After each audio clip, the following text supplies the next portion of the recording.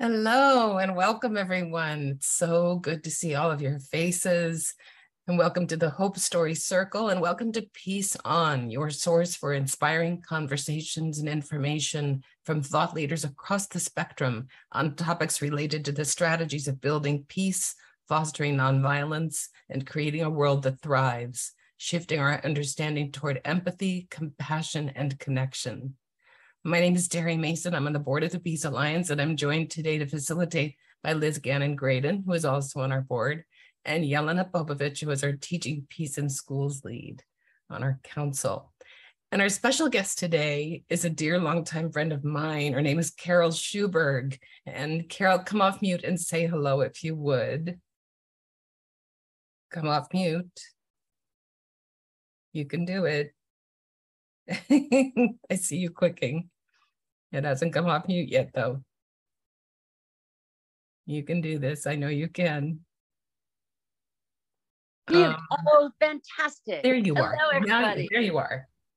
Hi, everyone. It's a joy and honor to be here. Thank you, Terry, for inviting me and for Liz and Yelena to uh, also inviting me. Yes. Oh, so happy to have you here. We are going to start though, before we get into your story, which is a wonderful, inspiring story. We're going to start with Yelena leading us in a lovely meditation, if you would, Yelena. Absolutely. Good morning, good afternoon, good evening, everyone, wherever you are, and whenever you're listening to this.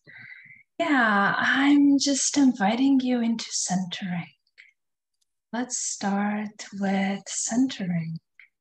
And um, we're going to kind of go into a journey of centering, centering with Lent, centering in wet, centering in back, and centering into our purpose. So, yeah, you're welcome to find any uh, position of your body that your body needs at this moment that can be they're sitting, standing, laying down.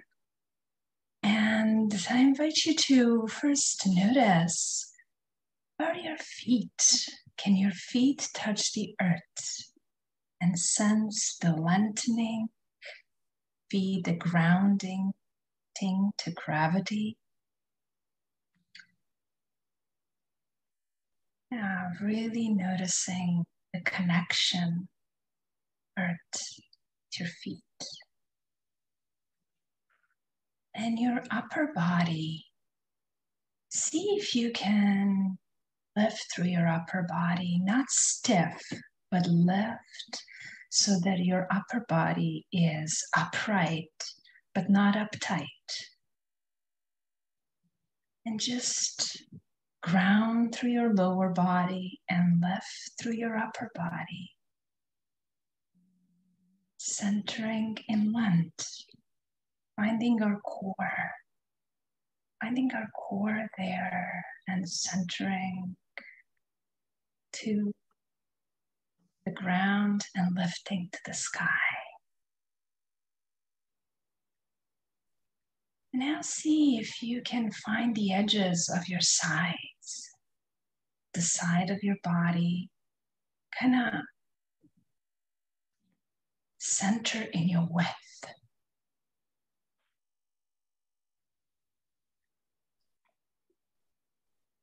From side to side,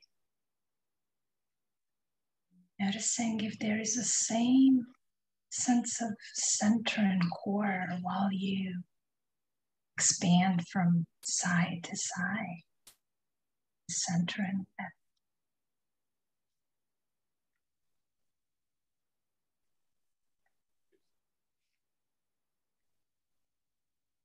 And I invite you to notice your back. Back is often neglected, but that's the part of us that carries us, carries us throughout the day. And you can also say it's part where our ancestors. So, can you center in the back? It is who has your back.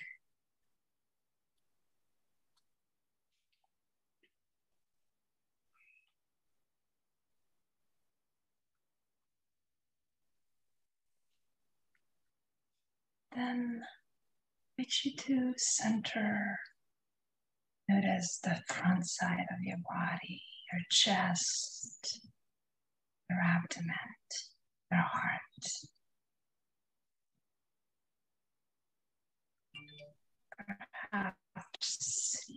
Notice breath now. Just pulsing of your heart.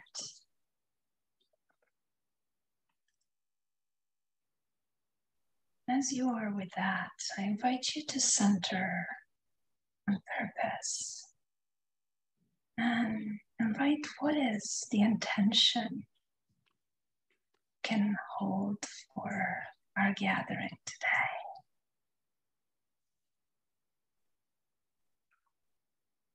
Perhaps is to continue feeling your center throughout it. Maybe it's to connect this beautiful community.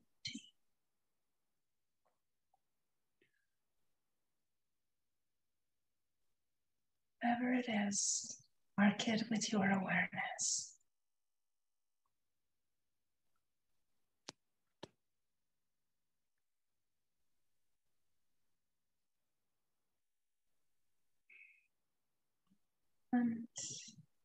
The last few moments, just invite you. Sensations, the body,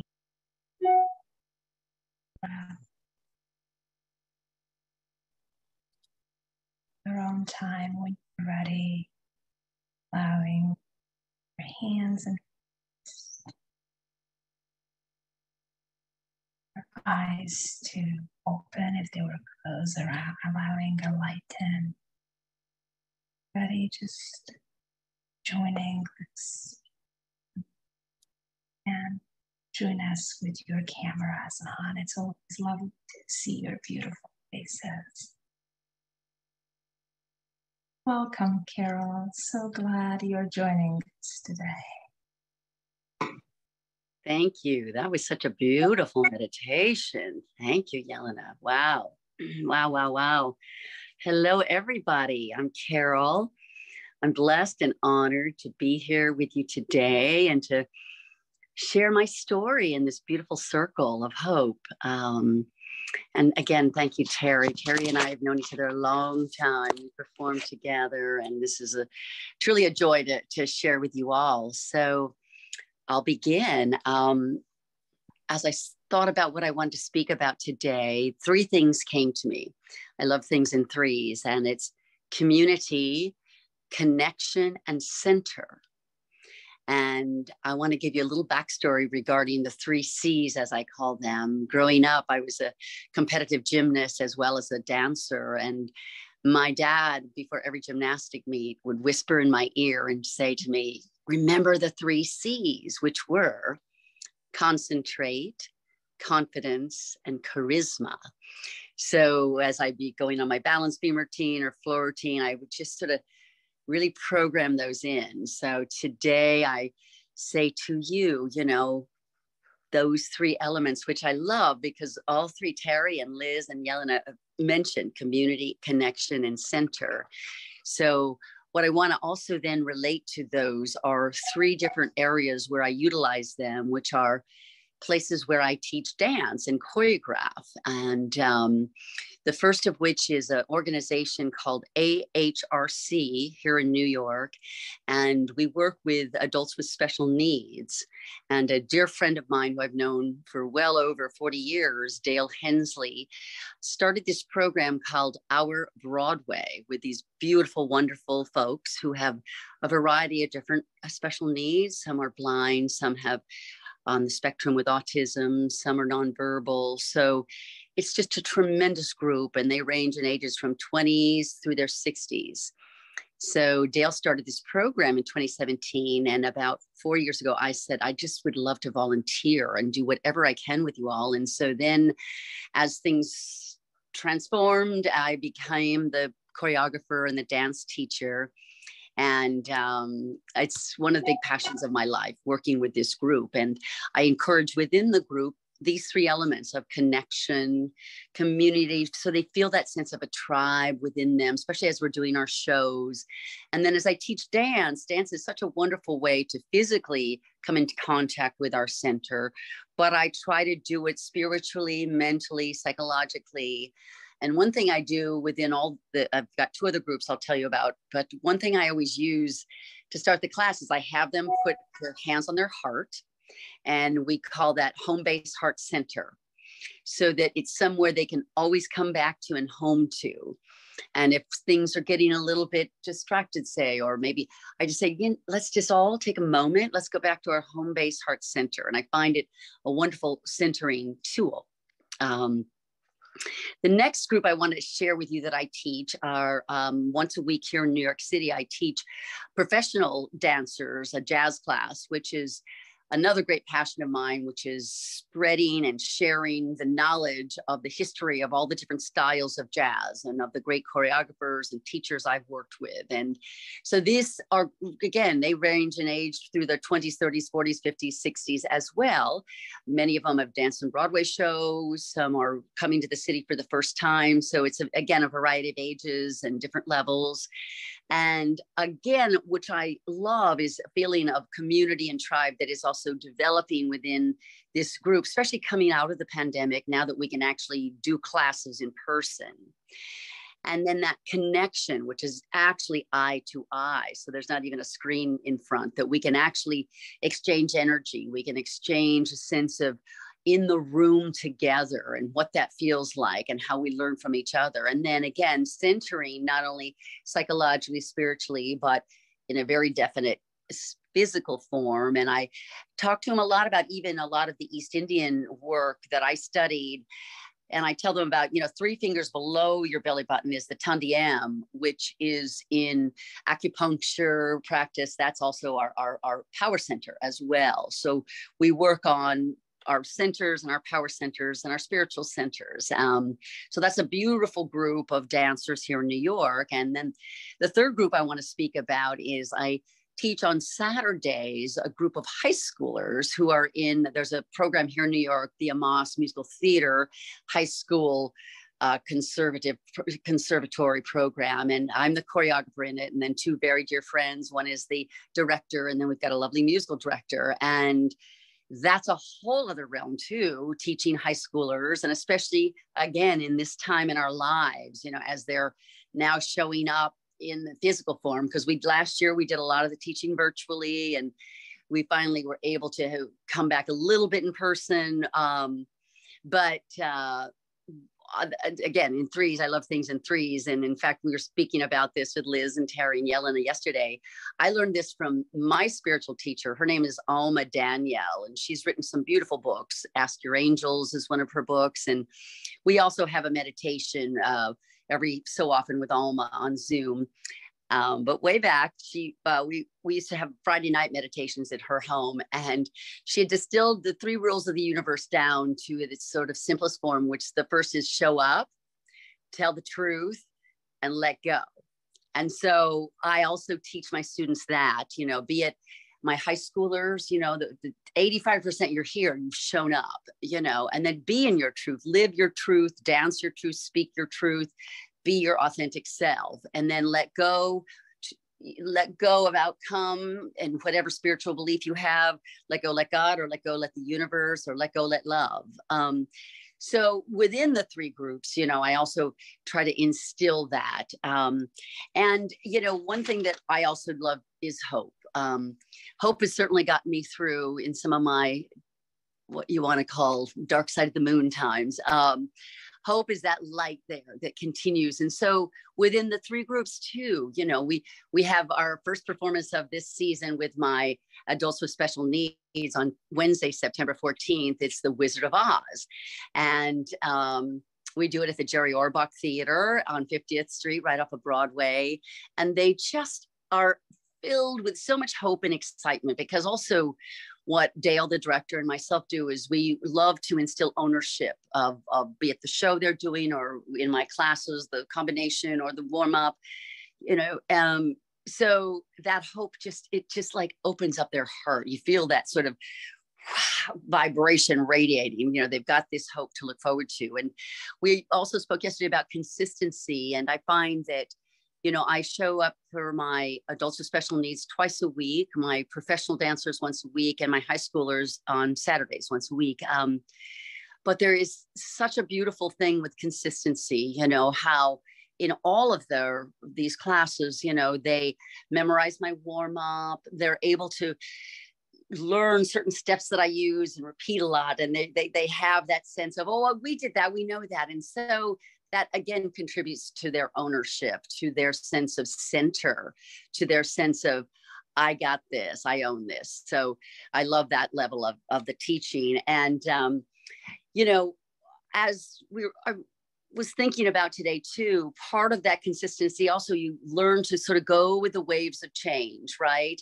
and to meet them where they are as well. Uh, within each group, um, there's challenges, of course, you know, so that we, you know, as spiritual warriors, we can sort of ride that tide of that. And in that tide, it's like, I'm going to meet you right here today. And that's good. And that's perfect and enough and lovely, you know. So we be there's a sense of teaching kindness to the self and kindness i teach that even you know to each other you know as i as i put them in groups and spacing and you know it's okay let let that person have that window psychologically physically spiritually you know they, they get to show up too. So you all get to show up you know in it.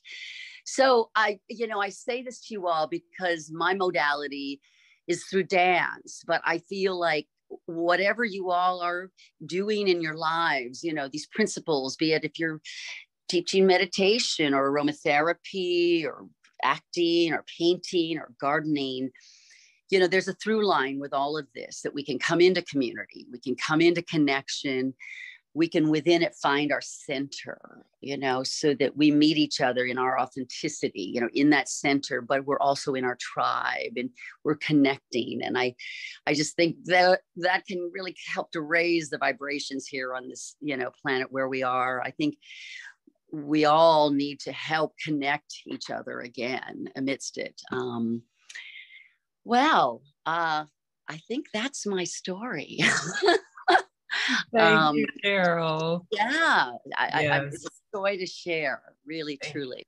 Yeah. Thank you. Thank you so much. Mm-hmm. So, Liz, Yelena, what about an inquiry? Yeah, Yelena, is okay if I, yeah, give the inquiry. I just want to thank you, you know, for your story, which is so simple and so beautiful. Thank right? you. Elements are so, um, as you said, they run through all of our lives. Mm-hmm. And as mm-hmm. we were thinking about the three C's, right? The the community, the connecting, and the centering. I love the way you collect. I love the way you connected. That is through connecting and community that we find center. Mm-hmm. So the inquiry we would love for all of you to think about is in this moment. You know, we talked about how, or or, or um, Carol talked about how she finds that through dance, right? But there are other ways we can connect in community. And so, what we'd like you to think about as you go into the groups are in this moment, where do you find that connecting community where you feel centered? And if you want to just kind of talk with the people in your small group about what that looks like and feels like, or if you're still longing to find that, how might you think about fostering that where you are and what that might look like for you? So, so we invite you to think of one of those two things. Where do you show up? Where you find that consistent connection to community, and that, um, and then if if that is still a thing that's lacking in this moment, how do how do you foster it or bring fostering of those ideas to the people around you? Wonderful, thank you, Liz. Carol.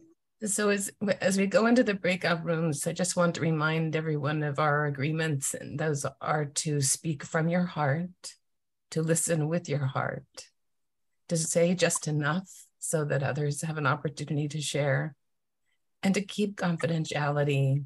We'll come back together after a few minutes and feel free to tell your own personal story but don't tell someone else's personal story unless they choose to. You can certainly speak to the themes but not the details because it'll be on the podcast and we don't want to share unless someone's comfortable to share. So those are our agreements. I'm going to pause the recording and then we'll come back together in about 20 minutes. So I'm just going to pause. Well, welcome back, everyone. I'm happy to see your faces. I'm excited to hear what people want to share. Who would like to share anything that's alive for you right now that bubbled up while you were in your breakout room? You can unmute yourself.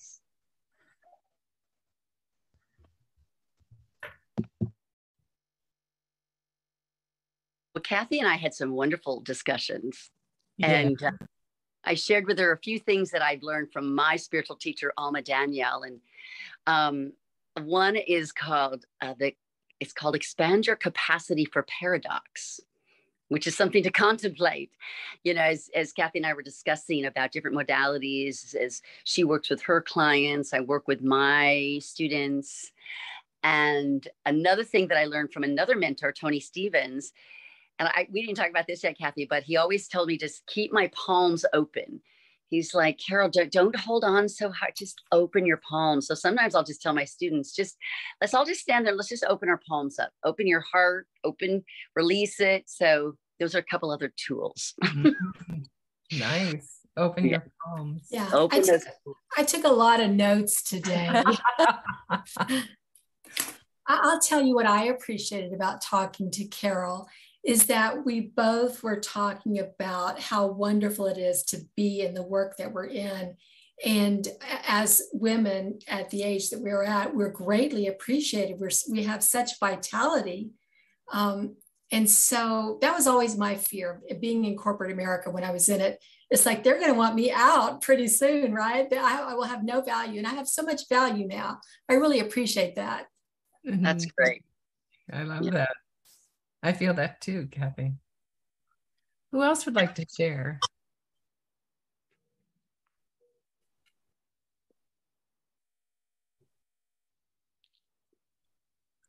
Anything bubbling up?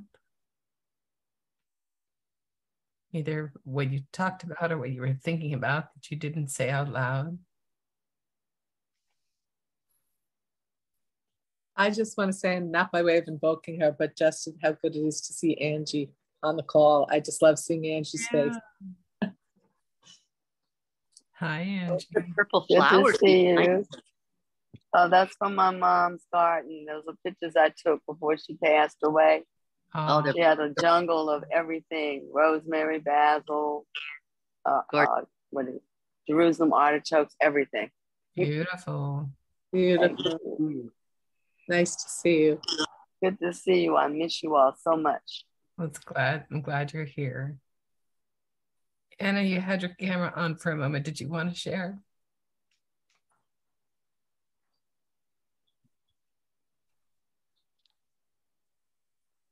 Anna, maybe not.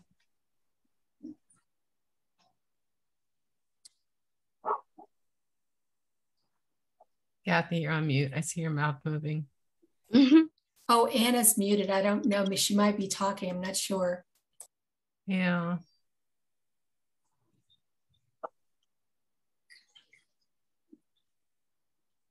One other thing I want to say too, because yeah. when I was speaking with Kathy and I was so admiring the fact that she really kept listening to her instincts and she knew that at a certain age and she said 50 she went back to school and and how wonderful and got her master's in social work. And uh, i love this phrase i call it listen to the whispers because our, our instincts or our hunches they're all divine you know and if we just take that moment and and kathy and i also discussed this thing that i love to teach which is pause on purpose. So you take that moment between the stimuli and instead of mm. going right to reaction take a moment go to response you know and so coupled with just listening to those whispers oftentimes in that pause we get the information we're supposed to receive you know so you know i, I call it just you know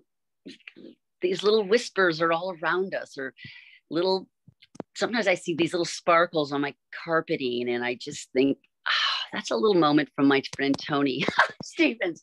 I mean, even if I just make that up, but to mm. me, he always had a sparkle, and he was like, "I'm, I'm just on the other side. Just keep, keep doing what you're doing." You know. So listen for the whispers. Yeah. Yeah. yeah. See, I love that. I've never heard it uh, framed like that before. Right. It's always listen to your inner, inner voice, listen to whatever, listen to the whispers. Uh, I just it frames it so beautifully.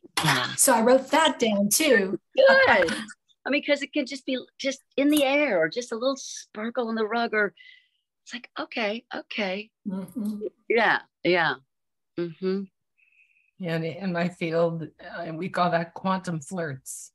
Oh, I love that, Terry. Wow. Quantum flirt. I'm, write, I'm, writing that down. I've never heard that either. oh, I love that. Me too. Yeah. Oh, that's great. That's fabulous. Anyone yeah. else? Anything you'd like to share?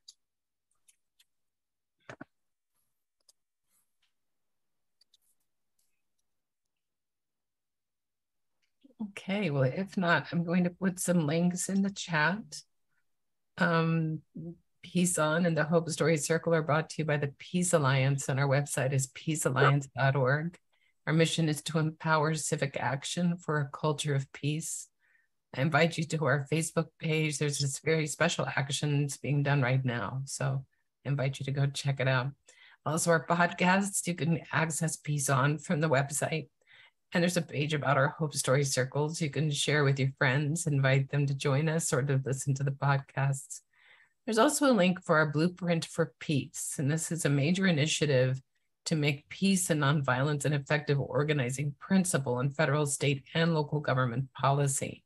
And by signing that petition, you will automatically send messages to your local, state, and federal officials, letting them know that you support policy related to violence reduction and peace building.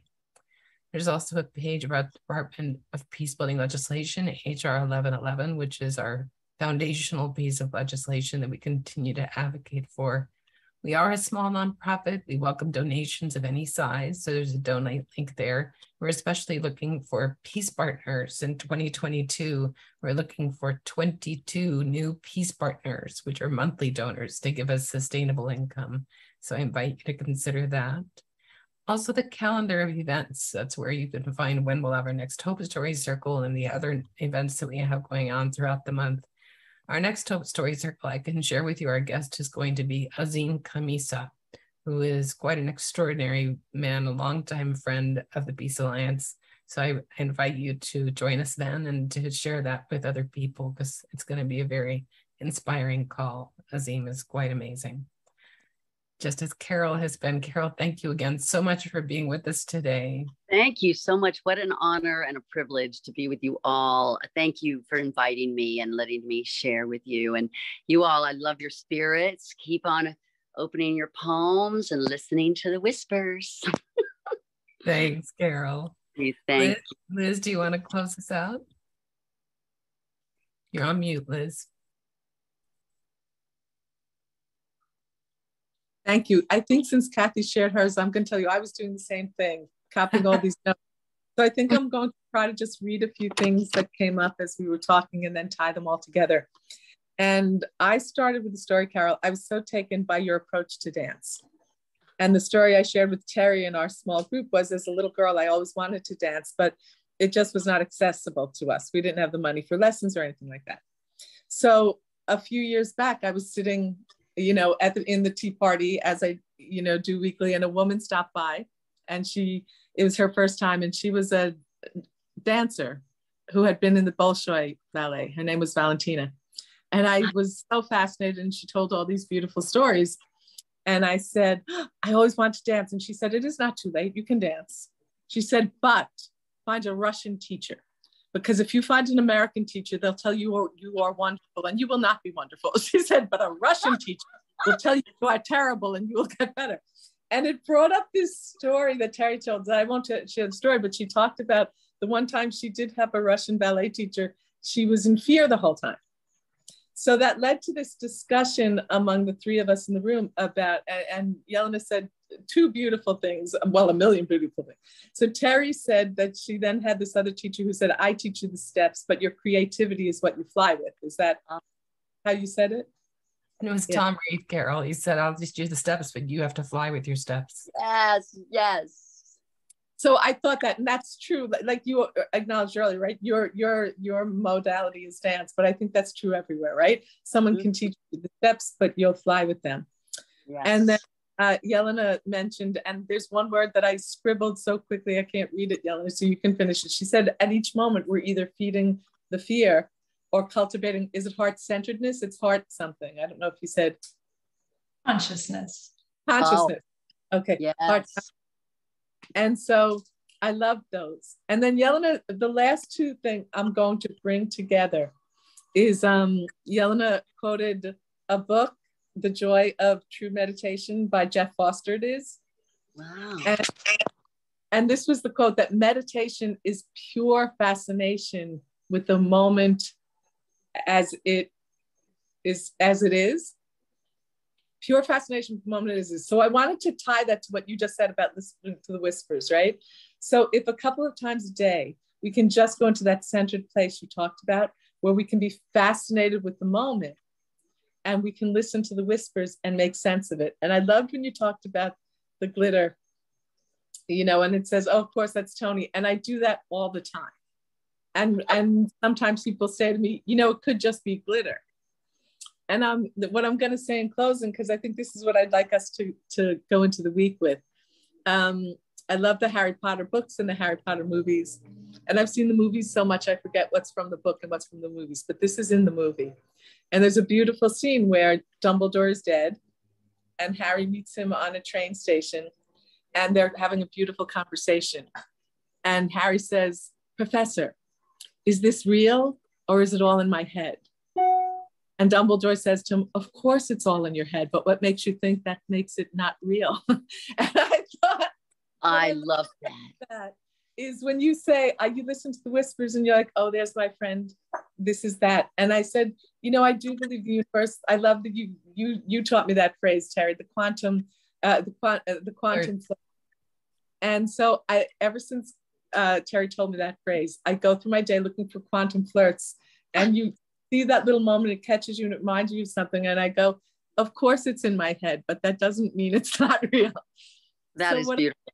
Yeah, so I want you to say your last words. Uh, I'll just offer you a few last words, if you want, Carol, by saying, I invite us to all spend, you know, the two weeks before we gather enough, just looking for those quantum flirts as we listen to our whispers, uh, and just and just see what it brings to you next two weeks. Did you want to say something in closing, Carol? I, I, I echo exactly what you say. I, I, I, love that quote that you said, even if it's in your head, what, why doesn't it? Of course, it's real. I mean, that's a beautiful way of acknowledging that because I have uh, this imagination and it's like, of course, it's real. Sometimes I see these rainbows. I have these little crystals in my window and I'm like, well, that's my brother because I've had some losses recently and I was like, of course, you know, so of course it's real. Yeah. Yeah. I love your name. And you know what my spiritual name is for one of the groups that I'm in? It's Quantum Indigo. So I'm just like, wow. Wow. That's oh, fabulous, Angie. All right, everyone. Well, feel free to come off mute and say goodbye. Thank you so much for this time together. Thank you. Yes, Carol, thank you for your story. Thank you for everyone's presence and always good to see you. And Angie, as I said, uh, uh, uh, John, so good to see you. Um, but Angie, it's been a while, so I'm so thankful when I saw your face. Yeah. Oh, thank you. I'm gonna try to be here faithfully every two weeks good. and be more involved. Wow. Great to see you all. So lovely. Your hearts are all traveling with me, and I love that. I feel you all right here. So thank you for including. Thank you, everybody. Thank you, everybody. Feel free to come off mute and say goodbye. Thank you so much for being here. Yeah. Bye bye. Thank you. And peace. Bye. Bye. Anna and Shayantan. You are a beautiful joy. So Thank you for joining us today at Peace On. We hope that it inspires you to engage in dialogue in your larger community.